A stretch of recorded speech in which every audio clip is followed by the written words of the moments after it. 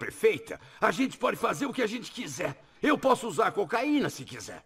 Peter, você aceita batatas? É, Como é que tá? Eu só perguntei se você aceita... Temos guardanapo suficiente? Sim, sim, temos guardanapo suficiente. Tenho bastante.